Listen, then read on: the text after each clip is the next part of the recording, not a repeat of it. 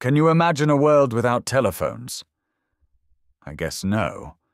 But once upon a time, it wasn't possible to dial a number and speak to someone. Let's learn how it all started. A Scotsman, Alexander Graham Bell, made his first experimental phone in Boston, in America. On the 10th of March, 1876, he spoke his first words on his newly invented phone. Here is an entry from Bell's journal written on the same day.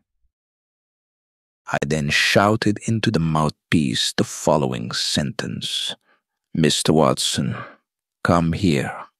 I want to see you. To my surprise, he came and said he heard and understood what I said. I asked him to repeat the words. He answered, You said, Mr. Watson, come here. I want to see you. We then changed places, and I listened at the speaker while Mr. Watson read a few passages from a book into the mouthpiece. I heard the words clearly, so the first working model of a telephone was born. Alexander Graham Bell first showed his invention to Queen Victoria on the 14th of January 1878. On the 1st of April 1891, a phone link between London and Paris marked the birth of overseas phone calls.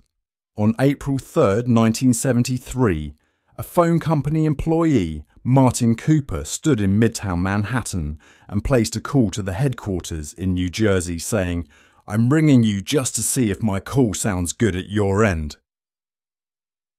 It took 10 hours to charge it up completely,